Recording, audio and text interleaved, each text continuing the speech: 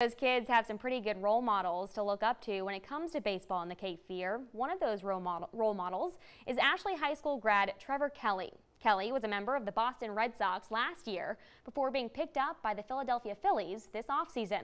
Today he got some good news, finding out that he made the Phillies opening day roster, making him one of the 30 players that will suit up tomorrow night against the Miami Marlins. He says while there was uncertainty this offseason, he stayed prepared for this opportunity.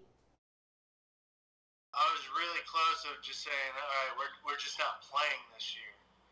But I, I went to the gym every every week. I went to get my throwing in every every day almost. So I stayed with it, and that's what really uh, showed in camp. The Ashley High School alum is one of 16 pitchers on the Phillies roster. They will open up the season against the Marlins tomorrow night at 7 o'clock. Good luck to the Little Leaguers and the Big Leaguers.